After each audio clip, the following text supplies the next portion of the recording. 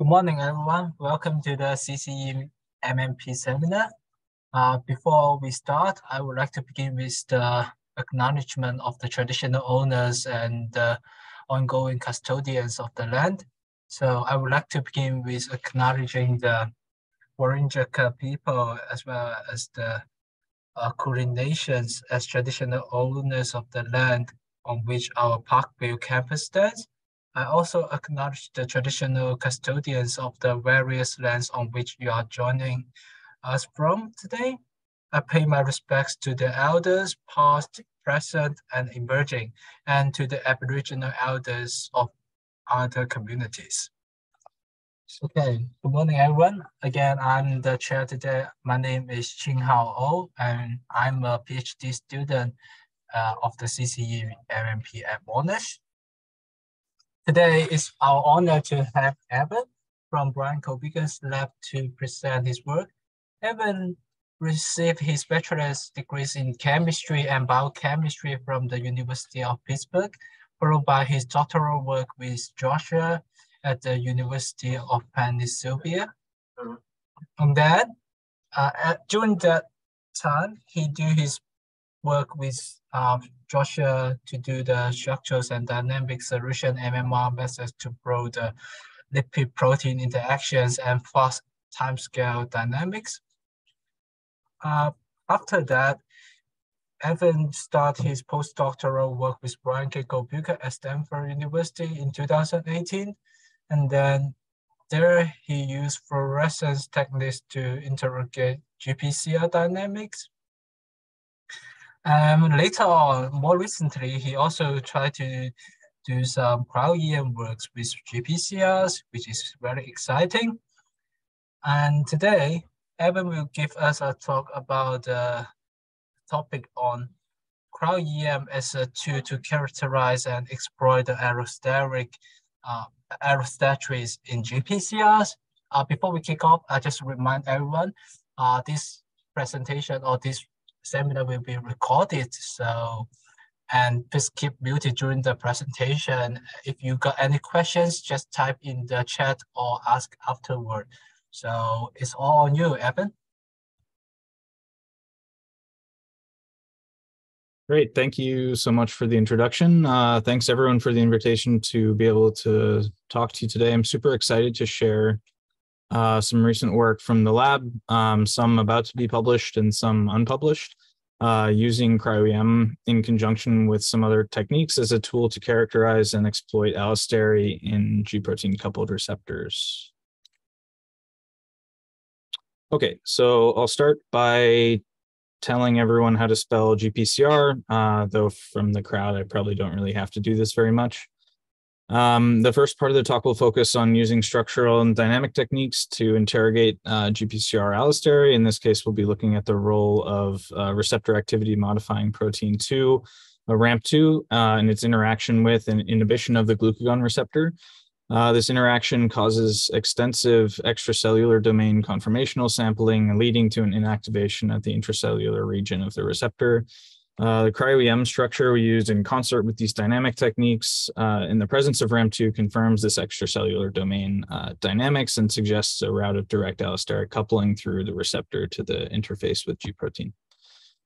Uh, the next portion of the talk uh, is some unpublished work. So I'm really excited to share this, uh, looking at some DNA encoded chemical library screening of the mu opioid receptor uh, to hopefully get some new allosteric modulators of the receptor. And we discovered some interesting hits here. Uh, so we have a new positive allosteric modulator that broadly enhances receptor activation and using cryo-EM structural biology, we're able to determine the mechanism of action uh, as binding to the active conformation of the sixth transmembrane helix. Uh, we also have a new negative allosteric modulator of the opioid receptor that caps the Narcan binding site in the extracellular vestibule uh, and is active in vivo to counter morphine, uh, morphine effects. So I'll start with GPCRs, um, go pretty quickly through this. So the, the GPCRs are the largest family of integral human membrane proteins. Uh, more than the number of members, they play really important signaling roles in nearly all areas of human physiology. Uh, I'll highlight a few receptors. I'll be talking about the glucagon receptor first as a member of the secretin family or family B GPCRs. Uh, as well as the mu opioid receptor over in the more more uh, more common rhodopsin-like family A GPCRs. Uh, they look like they're a bit different from each other, um, but they both share a common seven transmembrane helix uh, scaffold composed of seven transmembrane helices connected by extracellular and intracellular loops. A hallmark of GPCR activation is outward movement of the sixth transmembrane helix, so TM6. This is something I'll be talking about a good deal throughout the talk. Um, so we can keep this in mind. So while there's a lot of structural variation around this seven transmembrane helix scaffold, they do all share a, a similar mechanism of activation. So GPCRs, uh, upon activation with some agonist from the outside, promote this outward movement of TM6. Upon TM6 outward movement, there's a cavity exposed in the inside of the receptor that can then bind to different effectors uh, on the inside of the cell. There's a few different effectors. Uh, GPCR kinases or GRKs can come and phosphorylate active receptors, and phosphorylated GPCRs can then be recycled and internalized by beta arrestins. Uh, I'll mostly be talking about the namesake um, effectors today, G proteins. Uh, so G proteins can also interact with this uh, crevice exposed upon activation with an agonist. Um, and G proteins in the GDP bound state are acted upon by active G proteins, which can help release GDP from the G protein and facilitate nucleotide exchange, where GTP bound G alpha subunits can then dissociate from beta gamma and promote their own independent signaling signaling cascades.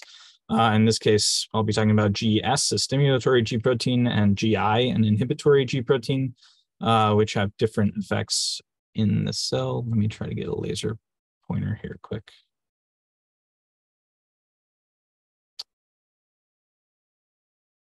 And beta gamma can have their own independent signaling effects as well. Um, these can happen before the G protein uh, can perform its own intrinsic hydrolysis activity and cleave its GTP for GDP, uh, whereupon the subunits can reassemble and the signaling process is free to start again.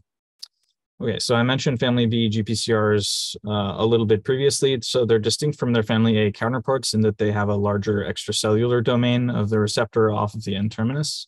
Uh, family A are more common, so I'll be talking about family A receptor in the second half of the talk. So these are receptors for cannabinoids, adrenaline, and I'll be talking about opioid receptor. Family B receptors uh, largely have this extracellular domain and bind to um, peptide hormone agonists. So glucagon like peptide and amylin are members, of course, and I'll be talking about the glucagon receptor today. So glucagon binding to glucagon receptor promotes activation of GS uh, on the inside of beta cells in the liver, which can then uh, promote blood glucose release to uh, to the bloodstream. This is an important counter to insulin signaling in cells. Both of these pathways together are really important for regulating blood sugar homeostasis. So some previous work from the lab solved uh, cryo-EM structure of the active glucagon receptor uh, bound to its signaling partner GS. Um, there are a few potential potentially interesting portions from the study, including a dramatic kinkage in TM6 upon activation, uh, this is a similar outward movement and kink to what we see for other family B receptors uh, that's distinct from the inactive state of the receptor. So to go along with this uh, super breakage in the helix and outward movement of TM6, there's a large uh, rotation at the bottom end of the of TM6 as well upon activation, uh, as shown here by the rotation of, of F345, which will end up being some of our probes for some later uh, dynamics experiments. This is in contrast to class A receptors, family A receptors that don't kink out entirely and sort of more gradually bend outwards in response to agonist and G protein binding.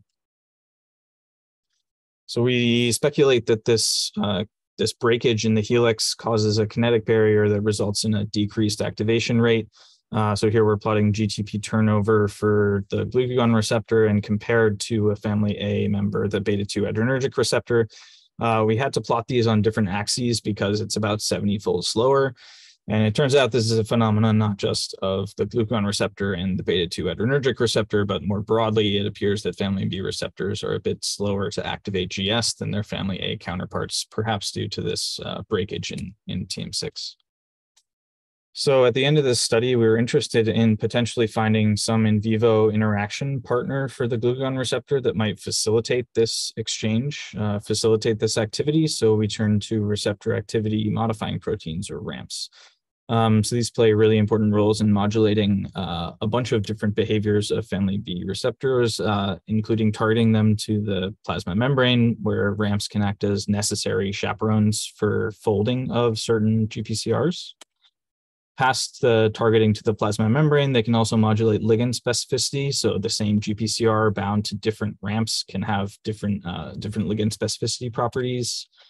Different ramps bound to the same receptor can also change the signaling properties at the intracellular side of the receptor, as well as change internalization and degradation uh, cycling, uh, as has been seen for other family B receptors. This is best exemplified by calcitonin and calcitonin-like peptide family of receptors, where the ramps can be either constitutive interaction partners or uh, really helpful for changing the signaling properties of their seven transmembrane helix partners. Um, there's also past these constitutively interacting uh, receptors, there has been an interaction with the glucagon receptor speculated previously. So what is this interaction doing for the signaling properties of the glucagon receptor uh, was the focus of the, the study today.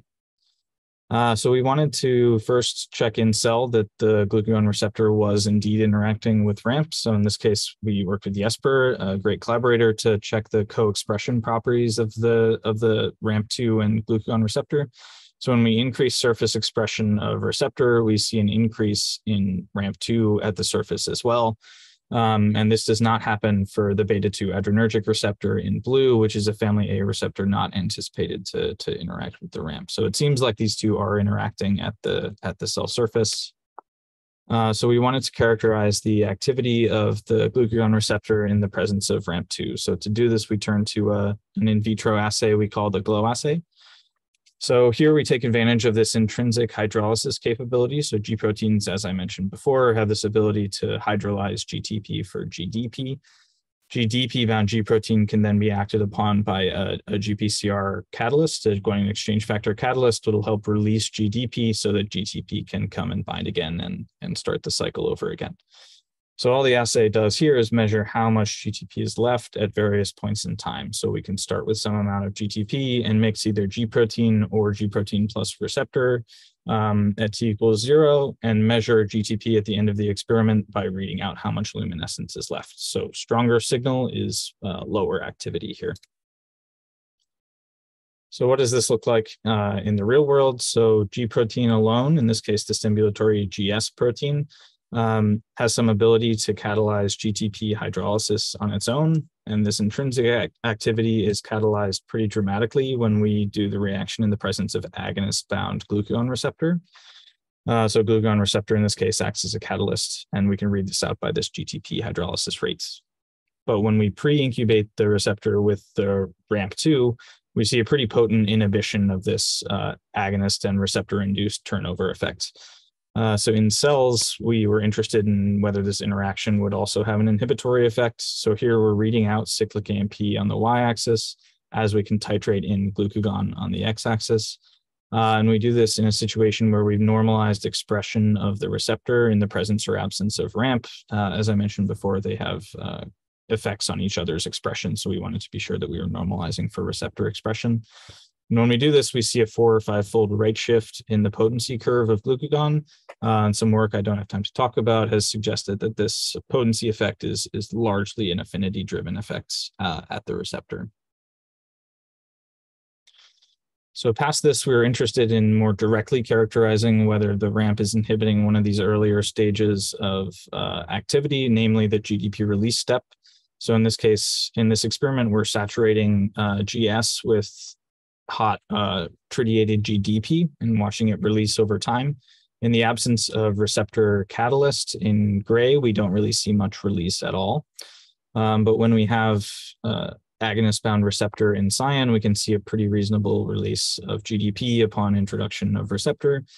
But when we uh, pre-incubate the receptor with RAMP2, we see a pretty potent inhibition of this GDP release rate, implying that some of the biochemical inhibition and in cell inhibition we've been seeing previously is due to a decrease in this intrinsic GDP release rate.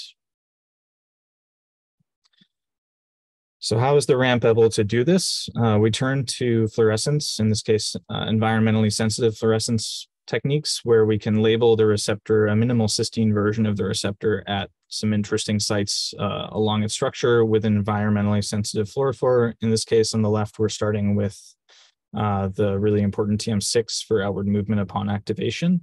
Uh, so here we labeled TM6 with an environmentally NB sensitive NBD fluorophore and titrated in the ramp.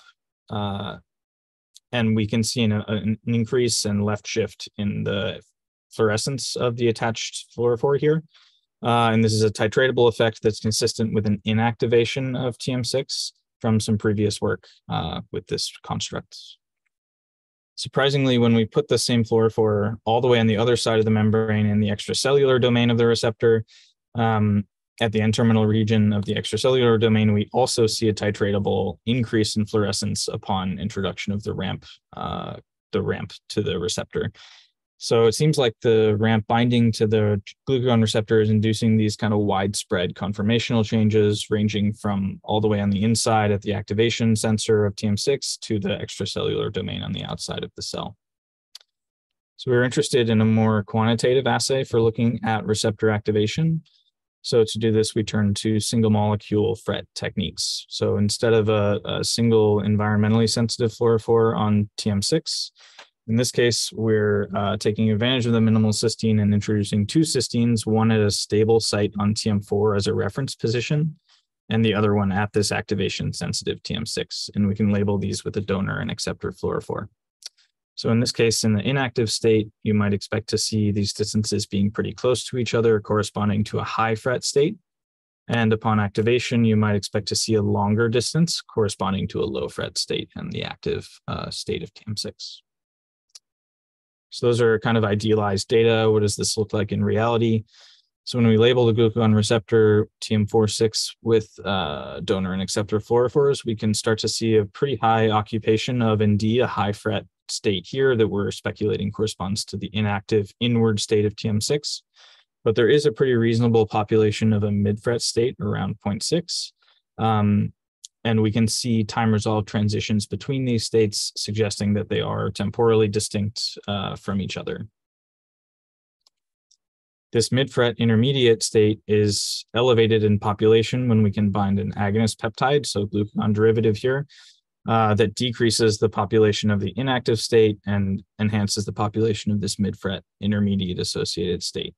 We also see an increase at a low fret state around 0.3, and this 0.3 population is stabilized completely in the presence of agonists and uh, G protein partner here. Uh, so we're, we're uh, associating this low fret state with the fully active conformation of TM6 that we see from the cryostructure and the high fret state here that we see with the inactive conformation of TM6 and an agonist associated mid fret intermediate state. So what happens when we add ramp? So if we add ramp two to agonist bound receptor, we can see a reversion of this mid fret state back towards an inner back towards a, a high fret inactive kind of ensemble of uh, of TM6. So we seem to inhibit the ability of agonists to promote the the intermediate state Further, when we pre-couple with RAMP2 before adding GS, we can completely inhibit the GS-induced outward movement of TM6, instead reverting to a more APO-like uh, ensemble for TM46 distances here. So it seems like even in the presence of full agonist and GS, this TM6 behavior reverts to this uh, fully inactive conformation, and this provides a pretty reasonable explanation for why we're able to inhibit turnover in the presence of GS with our biochemical assays. So we wanted a more broad scale uh, interrogation of what was happening across the receptor uh, across the receptor sequence. So to do this, we turned to hydrogen deuterium exchange observed by mass spec. So in these experiments, we can add uh, protonated protein into a solution of heavy water, D2O, and let those regions in the protein exchange. So regions that are more dynamic exchange their backbone amides much more quickly than regions that are involved in local secondary structure like alpha helices. We can quench this reaction after various points in time and break the protein up into individual peptides so we can have a local resolution of where different regions in the protein are able to take up different amounts of deuteration. We can then identify what these peptides are and do this across multiple time points and get these kind of deuterium exchange curves. Um, and most importantly, for the the talk today, we can do this in the presence and absence of binding partners. So in this case, in the presence and absence of RAMP2, and monitor this local backbone susceptibility to hydrogen exchange and changes in hydrogen exchange upon binding. Oops. Okay, so some things that came out of these experiments, uh, I'll talk about the RAMP2 data first. So the transmembrane domain of RAMP, uh, highlighted in blue here, becomes protected upon binding to the glucagon receptors. This is kind of what you might expect from an inter intermolecular interaction, where some portion of a protein becomes more ordered upon binding to its partner. Um, past here, the results started to make far less sense to us. So the TM region of the ramp seems to be more stabilized, but nearly all the peptides that we were able to observe in the glucagon receptor become more disordered upon binding to RAMP2. Uh, I'll start with the extracellular domain. So there's a peptide here in the extreme end terminus of the extracellular domain right next to the environmentally sensitive fluorophore position that becomes more dynamic upon interaction of RAMP2. Uh, so it seems like its sort of binding event is fraying the end terminus of this helix. Further, the linker region between TM1 and the extracellular domain also becomes more susceptible to exchange in the presence of RAMP, sort of implying that a few of these regions are becoming much more disordered, but that the extracellular domain itself uh, in, in brown here is not really changing its exchange behavior very much. So that means that while there may be some disorder and more of a rigid body kind of movement around the extracellular domain, uh, the rest of the ECD remains pretty, pretty constant. Um, some other key regions here are right in the middle of TM6. This is right where the helix kinks out upon activation. When we bind RAMP2, we can start to see uh, an increase in exchange in this really important activation sensor. So this is one of the first measures we have of a, a direct allosteric communication between the extracellular region dynamics and intracellular activation kinetics at the, at the inside of TM6. Okay, so we were really interested in solving the structure of RAMP2 bound to the glucagon receptor for one of these kind of less canonical um, interactions of RAMP with a family B receptor. Um, so we formed complex of GCGR um, with RAMP2 in the presence of GS and stabilized a nucleotide-free conformation as we typically do for um, GPCR structure determination efforts.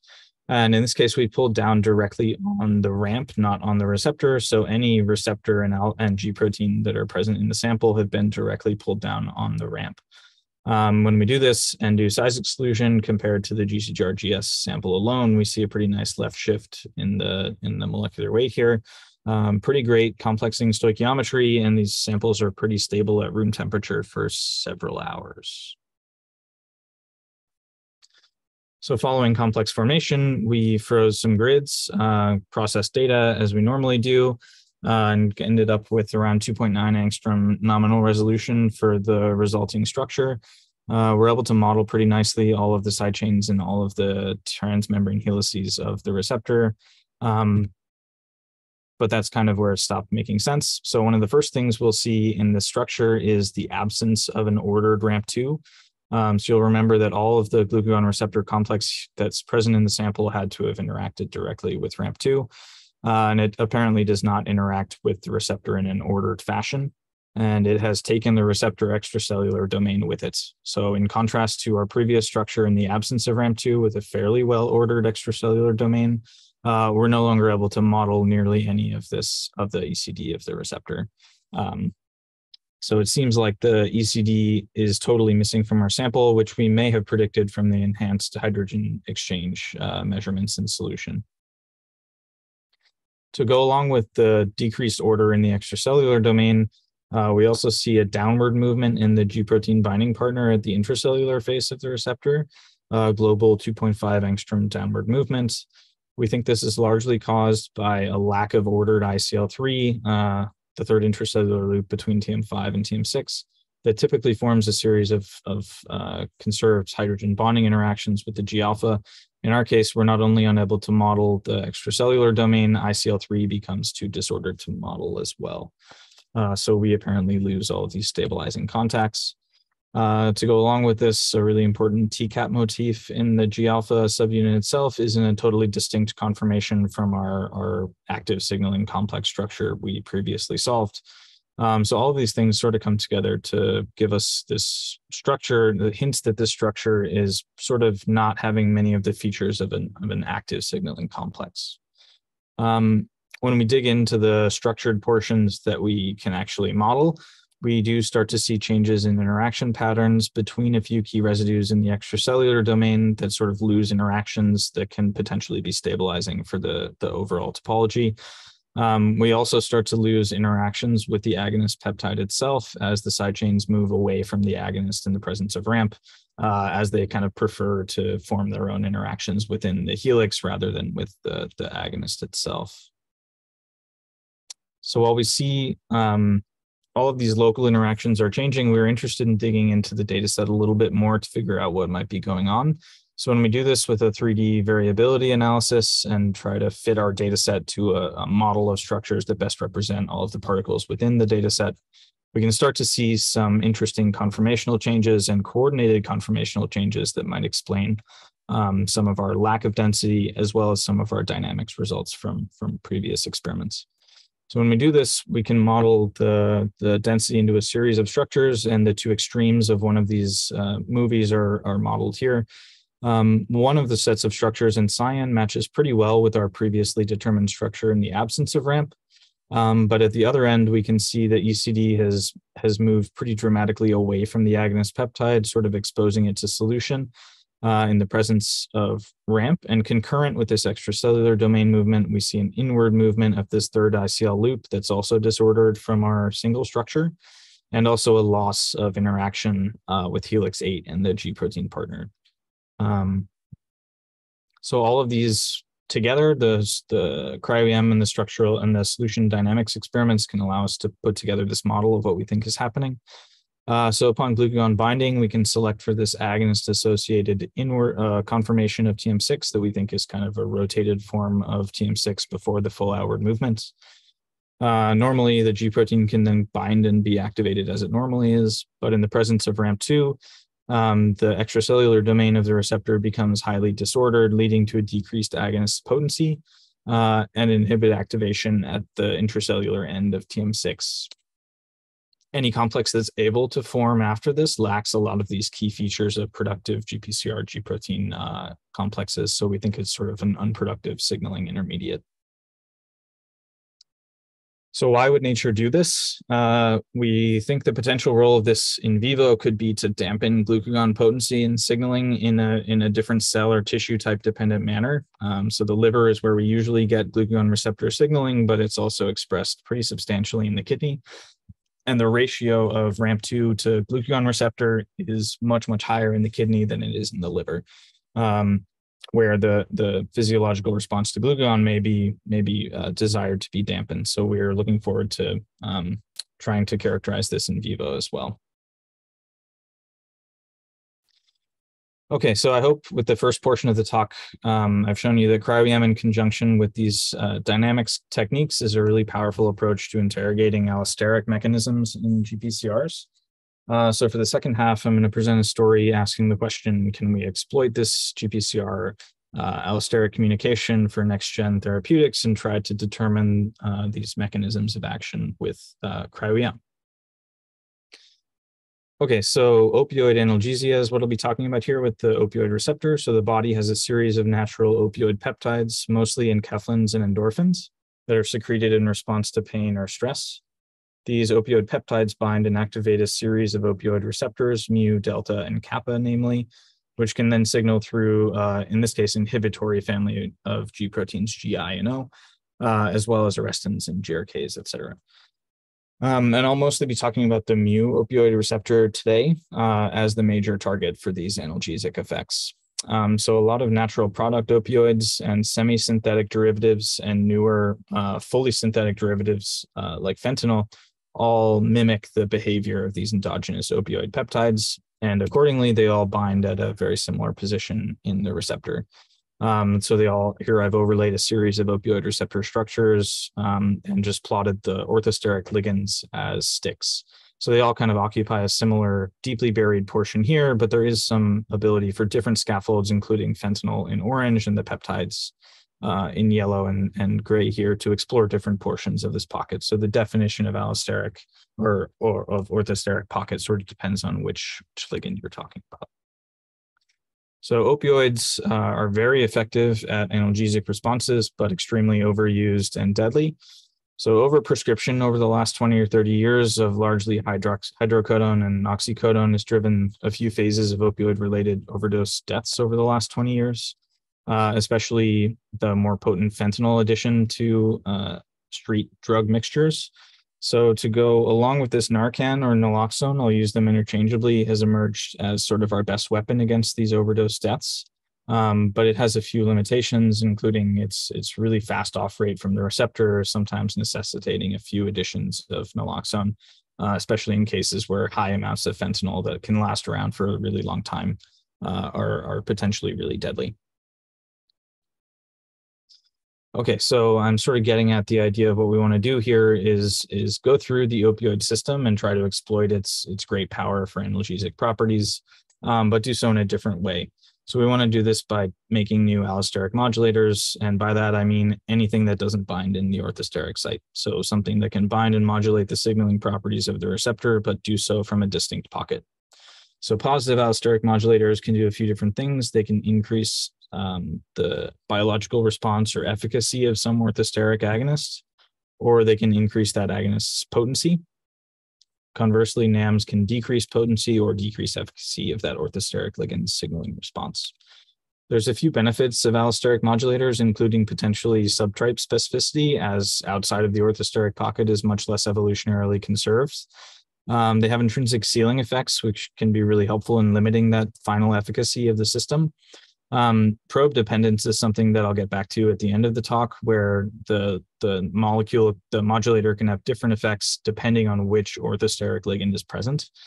Um, but basically, what I want to do here is highlight the the benefit of an allosteric modulator is that can enhance the signaling properties of existing systems.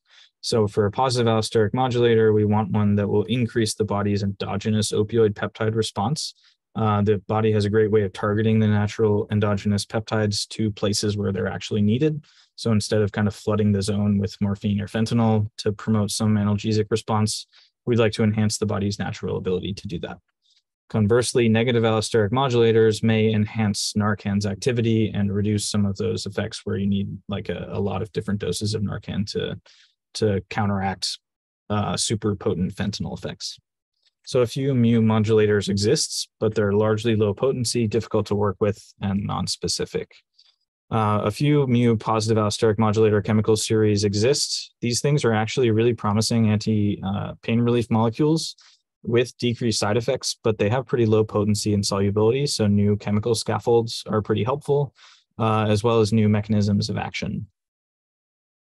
There's a few negative allosteric modulators of the opioid receptor as well that have been characterized, uh, including salvinorin A, CBD, and THC. Unfortunately, these are much, much more potent against their natural receptors, kappa opioid receptor and, C- and cannabinoid receptors, than they are for mu. So this negative allosteric activity will never be really realized in vivo. Most importantly here, there's no structures and no cryo-EM or crystallography data for how these modulators are accomplishing their functions. Um, so this was sort of why we got started on this project.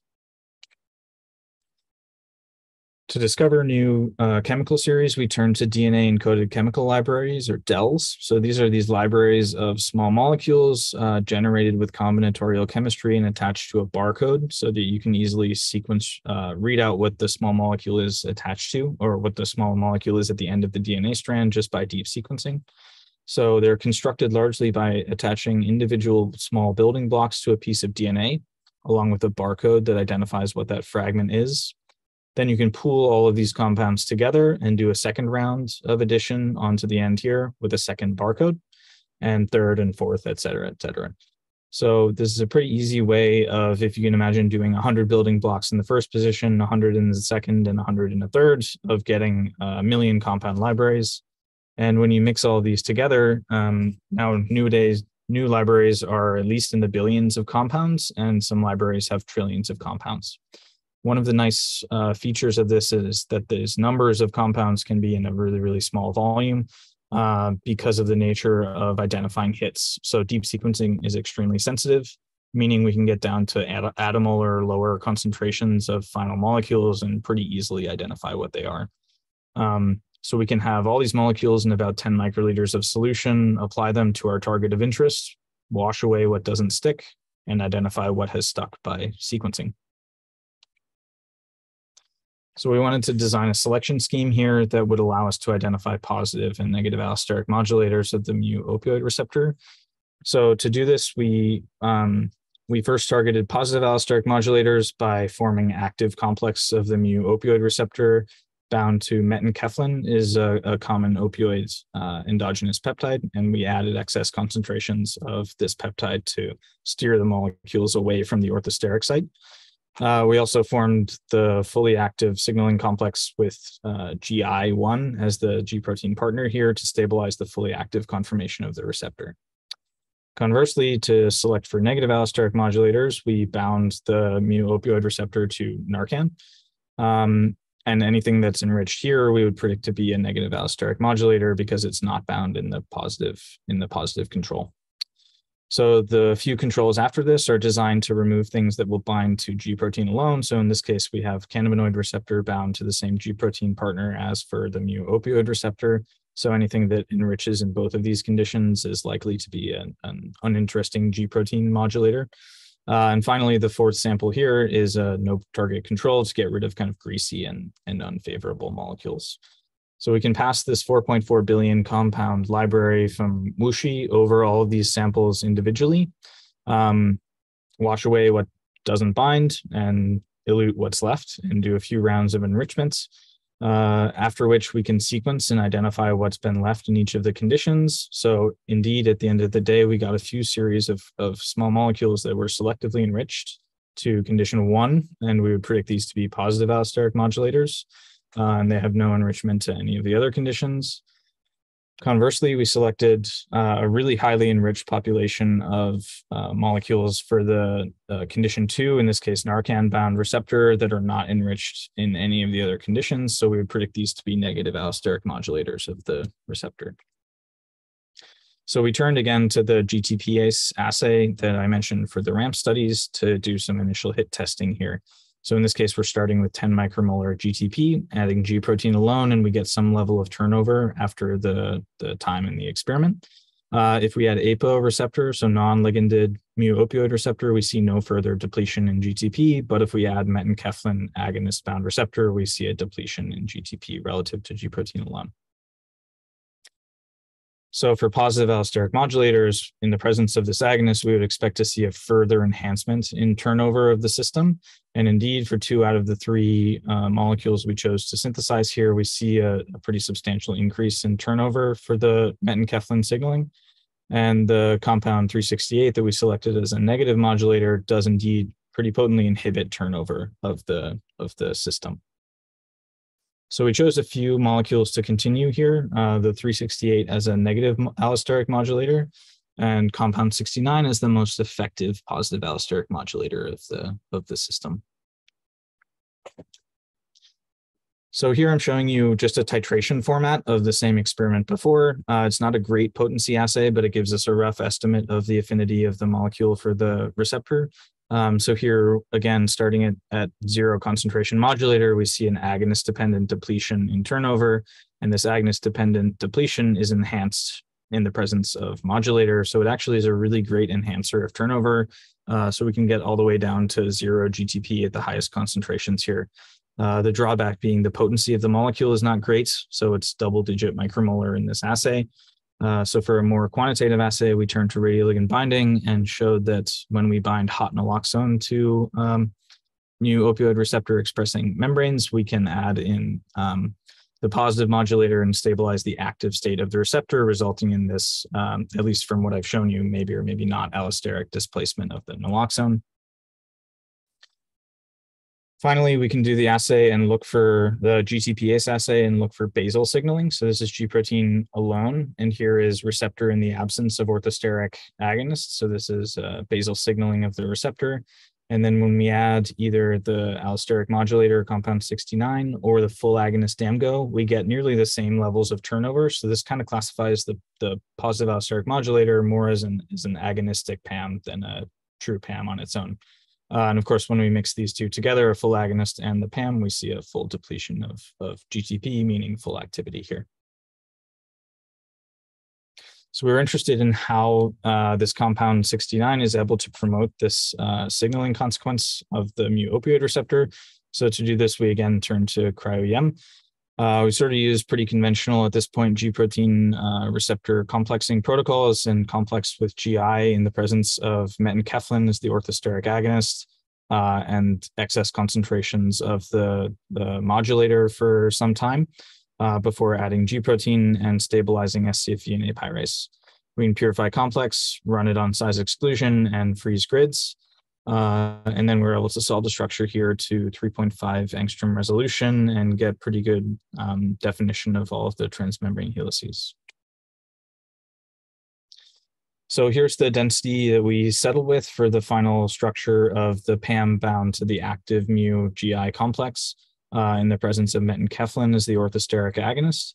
Uh, so we see pretty reasonable density for metenkephalin here, which at the time was the first endogenous opioid bound to a receptor. But in the last week or two, there's been five structures or so published, so that's great. Um, but more importantly, we see pretty reasonable density for the positive allosteric modulator, compound 69, off of TM6 and TM7.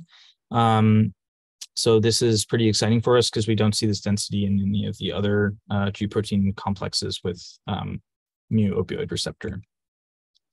So the endogenous peptide binding, I'll just go over briefly. It makes a series of contacts within the orthosteric pocket that are pretty conserved uh, between all of the endogenous opioids, as well as DAMGO is a, a reference agonist here in, in pink. Uh, DAMGO is a shorter peptide, so it makes a, a uh, salt bridge with TM6 at its C terminus, while metenkephalin is a bit longer, so it makes more greasy interactions with lower regions in TM6 and exposes its its charged to solution. And this is consistent with some of the extended opioid peptide structures that were just published from Eric Chu, uh, which sort of extend this way off, uh, well, off over on top of ICL2. Um, but for the allosteric modulator, it's it binds at the intracellular region, kind of within the membrane of TM6 and TM7, and forms a series of largely hydrophobic interactions with these transmembrane helices. Uh, though there is a cation pi between uh, arginine 280 and the naphthylamine moiety on the end of the compound um, to test whether this indeed was the pose that we think fits pretty well into the density. We ran some MD trajectories and it seems to be pretty stable throughout the course of at least 200 nanoseconds. Uh, so we're in the process of running these further and looking into the dynamics of the system a bit more. So why is it a PAM? Um, to do this, we compared the structure that we have with an inactive crystal structure of antagonist-bound mu opioid receptor. So when we look at the electrostatic surface potential of the active metenkephalin GI and the PAM-bound structure, we can start to see that it actually does fit pretty nicely on top of this ledge exposed in the active form of TM6. Um, this pocket is just not present at all in the inactive conformation of TM6 in the inactive receptor. Um, the arginine has moved away completely from the binding site that we predict with the, the PAM, uh, and it actually starts to clash with the conformation of TM7 in the inactive form of the receptor. Um, so in this sense, it seems to be a PAM by stabilizing the active conformation of TM6 selectively. Uh, and this also explains why it's an agonistic PAM in that it can stabilize the active state in the absence of orthosteric agonists. All right, so I'll go a bit quickly.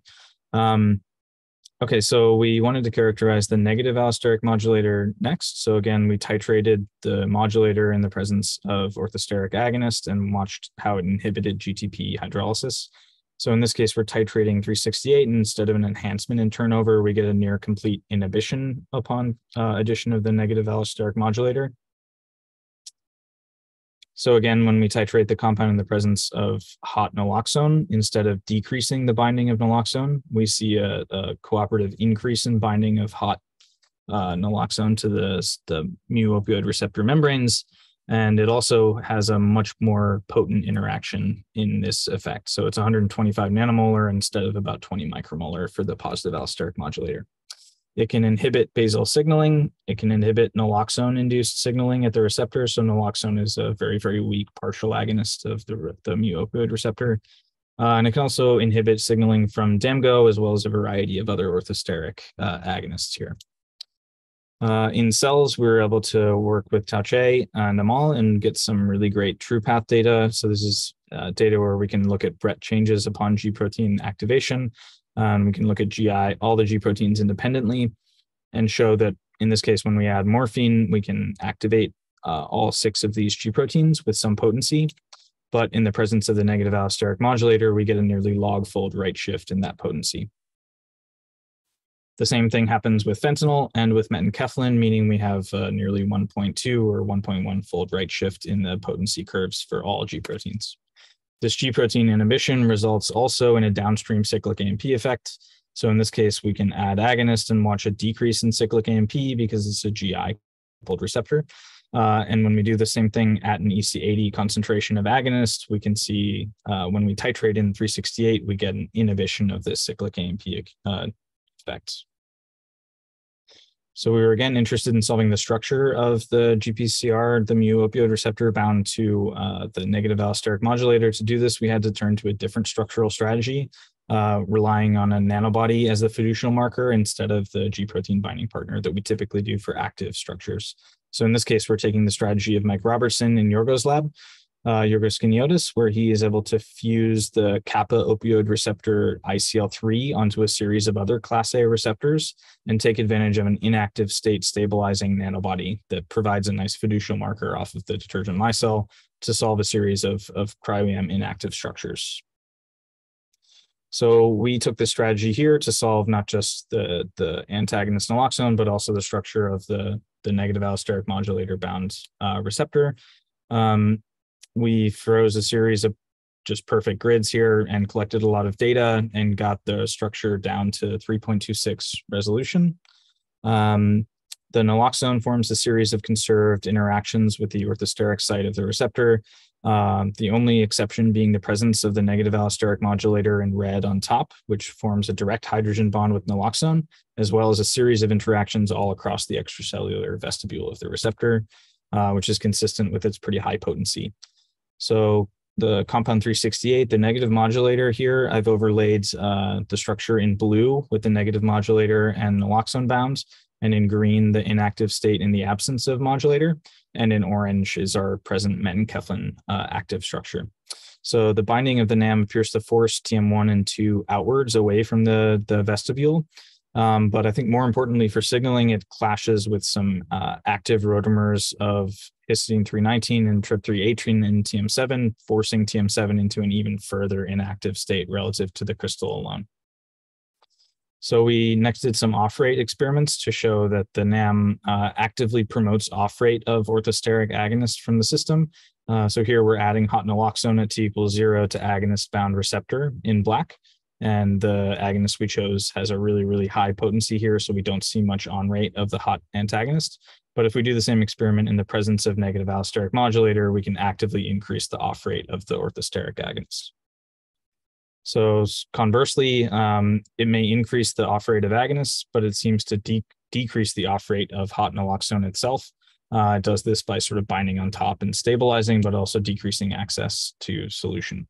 Uh, so conversely, when we uh, saturate with hot naloxone and initiate off rate with cold naloxone addition, uh, it falls off in about 2.8 minutes. But if we saturate with uh, the negative allosteric modulator, we not only increase binding to the receptor, but we don't see the naloxone fall off at all. So we next turn to a series of great uh, collaborators here, Sush and Jay, doing some chemistry and in vivo work with us to characterize the negative allosteric modulator. Uh, so first in the pharmacokinetics, the molecule seems to enter the brain and stay there for a pretty long period of time. So it's active at active concentrations out to at least two hours. Um, we initially got some pretty counterintuitive uh, data with morphine alone in the absence of naloxone. So when you give mice um, morphine, you get this hyperlocomotion effect that's kind of the opposite of what we see for humans. And if you pre-treat with the negative allosteric modulator, you can nearly completely eliminate this effect in purple. But if we do the same thing with respiratory depression, morphine induces respiratory depression in red, followed by recovery. if we pre-saturate with the negative allosteric modulator, we actually elongate respiratory depression. So it acts as a NAM for hyperlocomotion, but a PAM for respiratory depression. And we think this effect is just because morphine and naloxone are extremely similar to each other. So some of these probe dependent effects that I was talking about earlier may be at play here, where the molecule is actually increasing the potency of morphine. So I'll just end on a few more in vivo slides here. So um, the molecule seems to act cooperatively with naloxone. So while it has counterintuitive effects with morphine on its own, uh, Jay next tested against subsaturating doses of naloxone. So morphine on its own induces this pain relief effect with the tail flick assay that lasts about an hour and a half. And when we add a subsaturating dose of naloxone, um, we don't really see much effect on the pain relief at all. But if we do the same thing in the presence of increasing doses of our negative allosteric modulator, we can nearly completely eliminate morphine-induced uh, pain relief responses uh, for the system, um, sort of showing that the molecule has to work cooperatively with naloxone for its activity to, to be fully there. Um, the last slide here, it works as a Narcan booster for these morphine side effects. So in addition to pain relief, we're interested in testing the hyperlocomotion and respiratory depression effects of morphine. Uh, so morphine again induces a hyperlocomotive response and a respiratory depression response in mice. Um, when we add the, the NAM on its own, it doesn't really seem to have a major effect on either of these in vivo behaviors. But if we do the same thing in the presence of increasing uh, increasing amounts of NAM with a low dose of naloxone, we can uh, potentiate that naloxone effect and start to see an inhibition of the hyperlocomotion effect. And most importantly, for opioid overdoses, uh, at the highest doses of NAM in conjunction with naloxone, we can nearly completely eliminate the respiratory depression effects of, of morphine. Okay, so I hope with the second half, I've shown you we can design this library selection strategy to avoid orthosteric molecules and steer towards positive and negative allosteric modulators. Hopefully this is transferable to any other GPCR system. We selected a new mu positive allosteric modulator and solved the first structure of a modulator bound uh, mu opioid receptor and show it acts by stabilizing the active state of TM6. We discovered a pretty high affinity negative allosteric modulator of the opioid receptor, um, and it inactivates the receptor and increases the affinity of Narcan by binding on top of the extracellular vestibule here.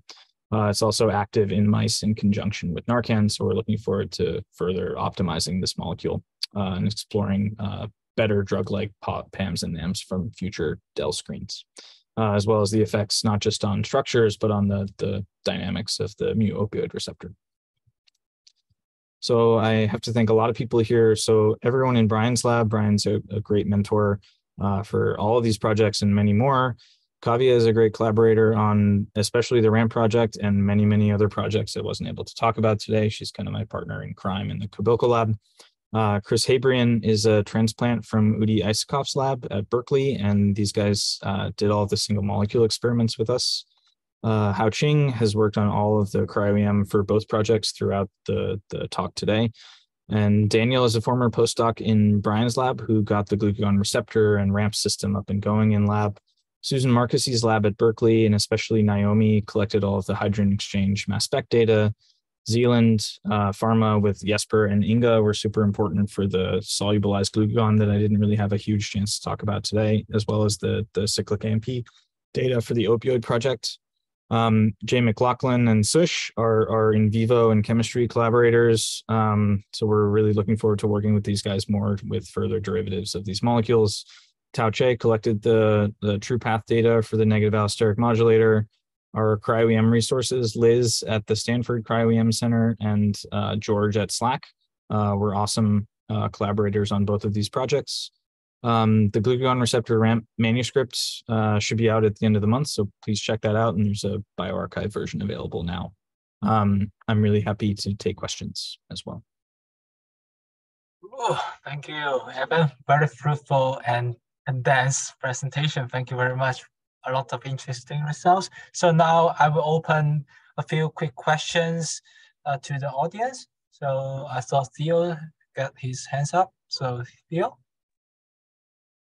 Hi, thanks for the awesome presentation, Evan. I, uh, I'm particularly interested in the inactive cryo-EM structure you guys have. So I was wondering if you had uh, any problems with preferential orientation of the antibody 6 GPCR complex once you put it on grids, and maybe if you had to use like secondary detergents or something, if you had that problem. So surprisingly, no. Um, we didn't have a massive problem with orientation bias for the system. Um, I will say that might be a little bit confused by the fact that the processing is really tricky in general for such a small fiducial marker. Mhm. Um, so we had to do a lot of back and forth and sort of rescue particles that were inappropriate classif- inappropriately classified into lower resolution um, classes here. So the processing, at least with the nanobody alone, is a bit tricky, but we got to pretty high resolution uniform density. So there, in the final data set, there was not much evidence of orientation bias. Um, but I will add, he now has a, a, a slightly bigger scaffold with a universal fab off of the nanobody. Uh, and that can add a good deal more density off of the micelle for these inactive structure determination approaches. So I think he's had a bit more luck on the processing end, uh, and it's a bit more streamlined. Great, thank you.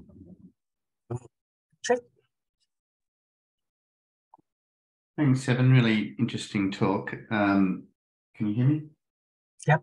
Yeah. Good. Um, so I want to ask you a little bit about your ramp stuff. So firstly, I mean, really um, very nice um, in vitro data on the, the action. Um, in terms uh, of your cryo structure, I'd say, first one question. Um, when you're doing the ECD dynamics, um, and you're labeling the, the far end terminus, is it? Yeah. Is With the fluorescence? change- Yeah, does that not change the, the receptor pharmacology? So we've not seen, Because I know if we put Yeah. like flag tags on the end terminus, we get a, you know, substantive right shift in the potency of, of glucagon, for example. so in this case, it is, sorry, one second. Um, so it's not the extreme end terminus, it is right at the end of the end terminal helix. Um, so you're right in that this region of the receptor seems really, really sensitive to perturbations. So Daniel and Kavya, uh, before my time here, have screened probably 20 locations for a cysteine insertion into the extracellular domain before settling on this one, at least from um, in vivo characterization of the potency cyclic AMP curves with Jesper to try to minimize that inhibition effect. And this was Yeah. the one site that worked. Okay, cool. Um, So that was the motivation. yeah, in terms of your cryo-EM data, um, the way I would interpret your data is, is your ramp fell off. Mhm. and it's not actually there, uh, and it's not contributing to what you're looking at in your cryo-EM. Yeah, so we have this is a, a pretty clear interpretation of what we have, right? So we have frozen these grids in the presence of sex stable complex for four times now. And we similarly see no extracellular domain. So if it's a question of when the ramp has fallen off, it may have fallen off during freezing. But if it has done so, it has done so in an effort uh, in much quicker timescale than the ECD can bounce back, right? So if if it's falling off at some Well, I point mean, before it- it freezing, really- you'd expect. Depends a little bit on, on what you're expecting for dynamics um, and the extent to which you've done the exact comparators and the number of times that you see that. The sort of coordinated motions between ECD and the base the receptor. I mean, we see that with basically every class B GPCR. So that's not really an unusual finding from my perspective, at least. Um, Yeah, it's just the global lack of density in the extracellular domain that's pretty consistent with other, you know, in solution measurements as well. Uh, and we also have done this in sort of a cross-linking fashion where we can covalently link the the receptor and the ramp together. And while we don't have a high resolution structure of this, we do see them as two extracellular domains sort of into the uh, extracellular face in a more parallel fashion rather than what you might see for the clamped on top sort of Yeah. calcitonin receptor structures. So But, but if I recall that correctly, you don't actually see complexes with G protein when the ramp's present. uh, that was in an antagonist bound conformation. So when we do the same thing and try to get high resolution structures in the absence of G protein partner, the extracellular domains of the two partners are too flexible to serve as fiducials off of the micelle to get high resolution information. Yeah. So we see a bunch the- of protein containing empty micelles that are not having any extracellular domains. But if you do your cross-linking with agonist and G protein, do you get full complex or do you get the receptor and G protein and receptor, sorry, the receptor and G protein and Yeah. the receptor and ramp separately? Because that's what was in your bioarchive submission. Ye- Yeah, sorry, I can go back and check. Sorry, I do not remember. Um, and that, that wouldn't be consistent with your other data, which basically suggests that um, if your G protein's bound, your ramp's not likely to be happy, right? Yeah, they seem to the be competitive. is true. Yeah. Um, so I, I, you know, would be surprised to be seeing it in the, under the circum- circumstances of, of your data. And then it just, from my perspective, then it becomes difficult to interpret what you're seeing there as a ramp dependent phenomenon because I, I don't expect it's actually there in the particles that you've picked that have the G protein bound. That would be my interpretation. Um, but I like all the other bits, uh, which I thought were really fascinating. Thank you. Since we have gone through the time of 11, so uh, I think you Somebody- take one more question. okay, so cool. Jason. Um, hello, Evan. Um, it's Jason from MIPS. Um, can you hear me? Yep. Okay. Uh, sorry, just uh, following the question or the other interpretation from Patrick. Um, about the uh, falling apart of RAMP from your complex, because I noticed uh, like uh, the protocol in your lab is they will purify the, each component and assemble them as a complex in the end, right? So it's kind of different from our routine protocol. We co-express RAMP and the receptor together. But during your during going through your protocol, I noticed by the receptor was purified in the presence of LMNG, which is really a slow K-off detergent. The RAMP is purified with uh, rapid dissociated detergent DDM, and you kind of like uh, do the detergent exchange between them from the DDM of RAMP to LMNG. But I just wondering whether because the LMNG is really slow off rate. So actually I cannot imagine that doing one hour incubation, the transmembrane domain of RAMP will get attached to the transmembrane domain of a receptor because it kind of like prevented by the presence of LMNG detergent. So my suggestion might be actually due to some inter interaction between the ECD of RAMP and receptor. This RAMP to attach to their complex and the micelle, but actually they do not have the transmembrane domain interaction solid. And that will cause the uh, dissociation during the vitrification, or it's kind of like trigger the falling apart in the fluorine space. But as you mentioned before, you said it might falling apart during the vitrification. Do you have some negative stain of your sample? In that way, they do not have the freezing steps, and you might see some ramp density or ramp ECD, or you just skip the negative stain and subject to cryo. We broadly skip negative stain and go Okay. to cryo-EM. Um, Yeah. my only point with the lack of MNG Mhm. off rate is that we do Yeah. have the presence of DDM, and so technically they are mixed micelles with a much more changed, you know, kinetic behavior between the samples. Okay. And Yeah, we yeah. also have hydrogen exchange measurements at much, much lower concentrations that suggest the tran- transmembrane of RAMP Mhm. is indeed interacting with receptor. Um, Yeah. So even after you know much shorter incubations for the hydrogen exchange experiments, we see Mm-hmm. uh, some evidence of productive interaction within the TMs. Um, and the ramp complexing receptor is overnight, so that one we do for a much much longer period of time to try to force the interaction to happen in the presence of Mm-hmm. Yeah. GS, or else as as Patrick suggested, we probably would not see Mm-hmm. any complex at all. Um, so the only like countervailing theory is that this thing is ex- like surprisingly stable in the presence of GS. And usually we can get structures of molecules that are not quite this sex stable. Um, Yeah. There may be some freezing behavior phenomenon that we're, you know, misinterpreting as a, or differentially interpreting as a dynamic phenomenon, but it's Yeah. all sort of, in our mind, semi-internally consistent with hydrogen exchange experiments and other fluorescence measurements. But Cool. Thank you. I know the ramp on the other member of the class B GPCR is quite difficult, but thank you for all your piece of work and it makes the world better. Yeah. Thank you. thank you.